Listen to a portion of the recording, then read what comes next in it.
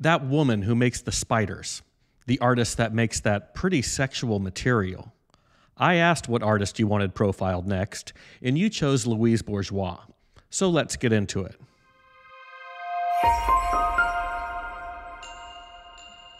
Art lovers, welcome back to the channel. My name is Christopher West, and this is a place where we can talk about modern and contemporary art and design. And last week, I put a poll on YouTube and on Instagram, and I asked what artist you wanted to see profiled next, and you overwhelmingly chose Louise Bourgeois. Now, if you voted for Ed Ruscha or Ellsworth Kelly, don't worry, I'm sure I'll get to those in the near future, so just have a little patience. But today I want to talk about Louise. Bourgeois was born in Paris in 1911, and she was one smart girl. While her parents were running their tapestry shop, she was studying mathematics and geometry at the Sorbonne. I mean, she was a STEM student at the Sorbonne before being a STEM student was a thing. She said that early on, she got peace of mind only through the study of rules nobody could change. But when her mother died in 1932, her life would take a turn.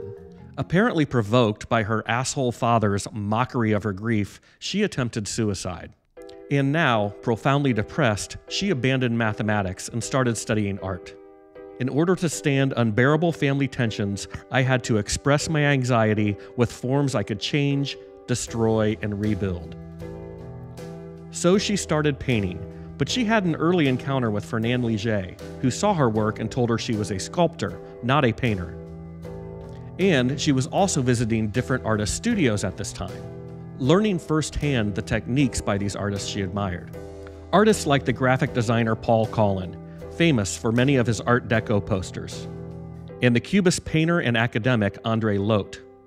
Both served as mentors to a young Louise Bourgeois. But it was also at this time when the frustration began to set in. She noticed that these men, these patriarchal geniuses that dominated the art world at the time, did not pay attention to women. And she recognized that her work, because she was a woman, would never be seen the same way as if she were a man. So in 1938, she took a leap and decided to do something about it, and opened her own gallery next to her father's tapestry shop. Yes, she exhibited male artists like Henri Matisse and the romantic painter Eugene Delacroix but she also exhibited artists like Suzanne Valadon, the first woman ever admitted into the Société Nationale des Beaux-Arts. It was in her gallery where she met the American tourist and art professor Robert Goldwater, and she decided it was time to make her escape. Escape from the male dominated world of the Paris art scene and escape from her asshole father. So Goldwater and Bourgeois got married and moved to New York City. But the transition wasn't that easy. It took many years and a lot of frustration for her to finally find her footing in her new country. In the mid 1940s, Peggy Guggenheim had a famous gallery called Art of This Century, and Bourgeois was included in an exhibition there in 1945 titled The Women. But it wasn't until the 1950s when Bourgeois joined the American Abstract Artists Group with artists like Barnett Newman and Ad Reinhardt that her work really began to gain traction. She would befriend other artists like Willem de Kooning and Mark Rothko, and her work began to transform, from wood structures to materials like marble and bronze. It was with these new materials, exploring different ways of making, that she was able to confront her abusive childhood and the complexities of male female relationships. She was able to investigate concerns like fear, vulnerability, and loss of control, and she wasn't always very subtle. Take the work Fillette, now in the collection of the Museum of Modern Art. Pretty obviously a phallus, right? Well, some scholars say they also see a female torso, and that creates ambiguity. Ambiguous? This? I mean, it's hanging on a meat hook, for God's sake. Bourgeois said, From a sexual point of view, I consider the masculine attributes to be very delicate. I'll give her that.